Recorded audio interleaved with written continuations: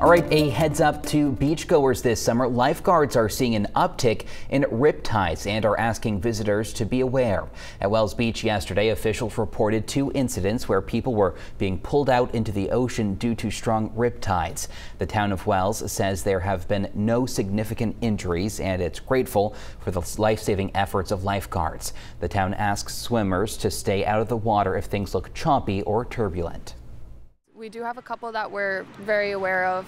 One right along the jetty, that seems to be the biggest issue for us. It doesn't happen too often, but it's important to be mindful, pay attention to where you're swimming, always swim near a lifeguard, and just keep an eye on the color of our flags, ask any questions if you have any.